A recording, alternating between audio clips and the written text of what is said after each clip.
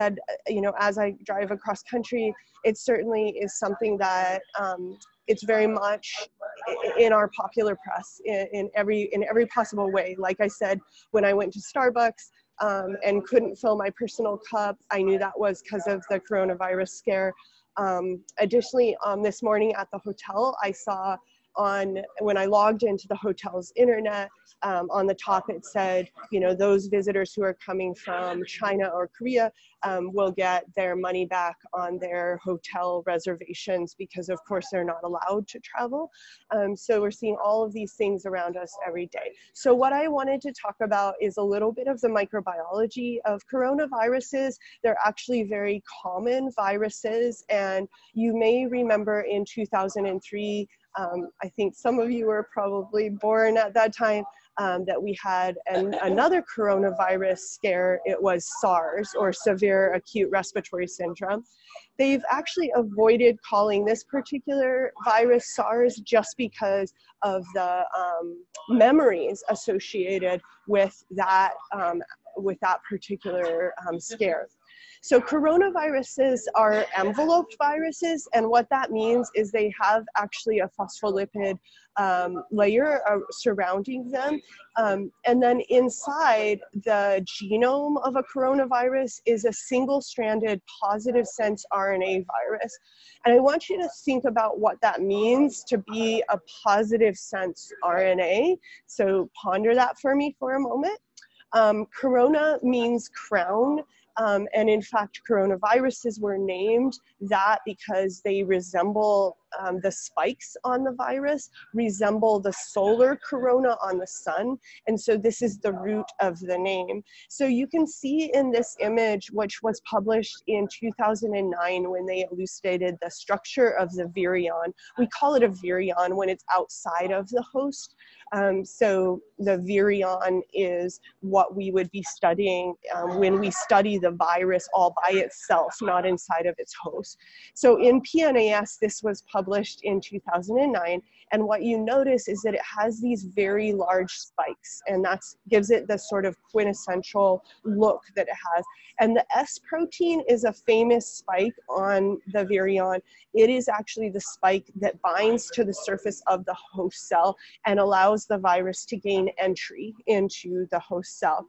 There are other components as well. Um, including a, um, a membrane uh, protein, glycoprotein called M, and an envelope protein called E. Um, these are all encoded for by the virus itself. So uh, let's zoom in and look inside so that we can look at the genome. Remember that it is, I said it is a plus sense RNA. And actually, I should take that from you all. Um, what does it mean to be a plus RNA? What would, why, what would be different if it were a minus or a negative sense? We say positive sense, negative sense. Does anybody know what that refers to?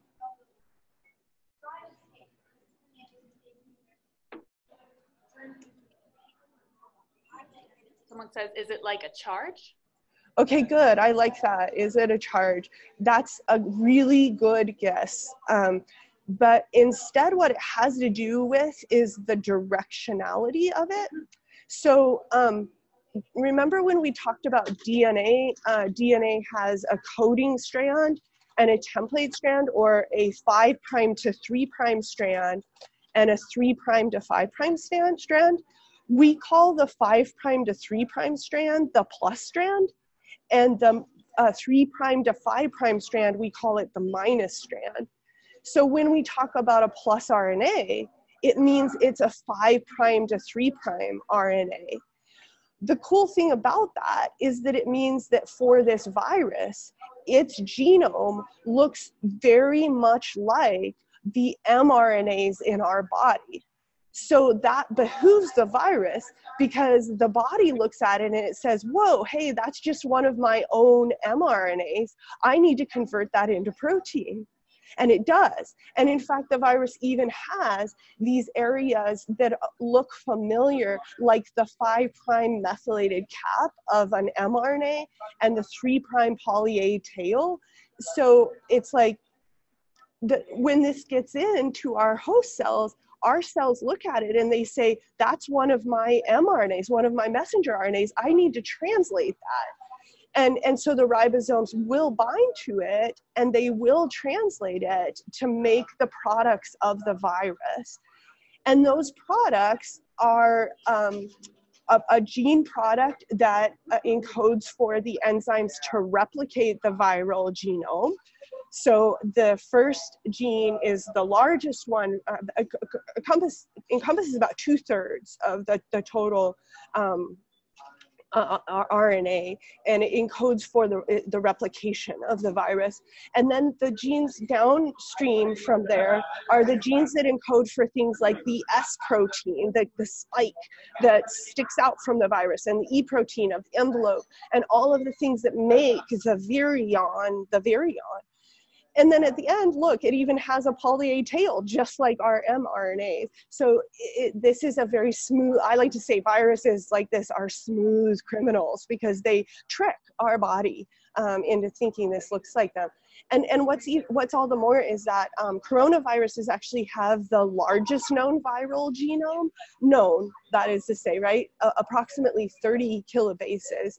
So a very large genome um, for, for a virus, which means that the capsid has to also be pretty large. That is the, the virion itself, right? To hold all of that um, RNA, lots and lots of RNA. So one of you had asked about um, viral latency. You left a question behind. Um, and this isn't a virus that integrates into the host cell chromosome. There are some that do do that, um, such as HIV, uh, such as herpes virus. Um, and so a little bit different than a coronavirus. So uh, when a coronavirus um, binds to the surface of the cell, the S protein is um, the protein that allows that binding to take place. Now, remember that the, the, the, receptor, these are peptidase proteins on the surface of our cells, um, those are not there for the virus. The virus is exploiting them. It's binding to, to them and, and it's confusing the cells. The cells think that they're binding to something they need, but instead they're binding to a virus and that triggers one of two things. Um, coronaviruses either because they have a bilayer uh, membrane around them, uh, they have that envelope, we call it an envelope with viruses, they can actually literally fuse with the host cell uh, membrane. And you can see here, this is kind of showing that fusion event, and then the RNA can just pop out into the cytosol. Um, that is one way they can get in. Another way is to trigger endocytosis, and this is an endosome here um, that, that then the virus uh, envelope can merge with the endosome membrane and boop, pop out that plus sense RNA, that 5 prime to 3 prime RNA. Um, and then of course then that can uh, can further encode for the proteins um, and when the virus leaves the cell it because uh, is in a vesicle, it can just be popped out really easily um, from, you know, just through exocytosis. So it's a pretty smooth criminal. Um, and, and so I, I want to end today by talking a little bit about the history and perspective. Um, while coronaviruses have been arguably, arguably around for much longer, they were first isolated in 1937 um, we do say that they are zoonoses um, or they are zoonotic. What that does mean is that they um, can be transmitted from another species to the human species or that they do um, that they do exist in, in, in multiple species. They, they can replicate, they can replicate in multiple species. Um, but the move from one species to another species is something that is slow. Um, there are four major categories called the alpha, beta, gamma, and delta, and they are respiratory viruses. So you've seen this, and you might remember that the iconic image of the SARS was people wearing a mask, and that's to prevent the droplets. So the mask is not small enough to prevent, say, the virus if the virus were alone from getting through. But when it's on, and it is when you sneeze or cough and it's on a respiratory droplet, it does stop the droplets. So that's one way that if you are sick, you can prevent that. um, from being transmitted. Um, so that's one of the the, th- the images that we tend to see a lot of. Um, so uh, it is interesting to note that coronaviruses are all around us all the time. They cause about 10 to 30% of what we call the cold. Um, so you get a cold, you know, there's there are coronaviruses that cause that. But these more severe pneumonia um, outcomes of coronavirus are, are more rare. Although, uh, if you've heard of SARS, you may have also heard of MERS, M E R S, um, which is still causing human cases now. Um, it's been around for a while. So there are seven human coronaviruses that have been typified. Uh, you can find out more of these, but the Middle East respiratory syndrome, that one's the MERS, the M-E-R-S. Um, so um, that being said, uh, let's take a look at perspective just a little bit. Um, and uh, oh, and I should say too, yesterday, uh, as I was driving and checking my email, well, not while I was driving, I was riding the passenger seat, and um, in pops this notification. I get all the notifications from NSF, which is not a bad idea. If you're just wanting to be like nerd out, get uh, registered to get the NSF emails. It's really cool to see what's going on um, in the National Science Foundation funding and, and, and the projects that are coming out of NSF project but they are putting out a special call right now for research related to coronavirus, which means that scientists everywhere are quickly trying to think about ways that we can respond um, to further coronavirus outbreaks, including, including the current one. Um, and active research is happening all the time.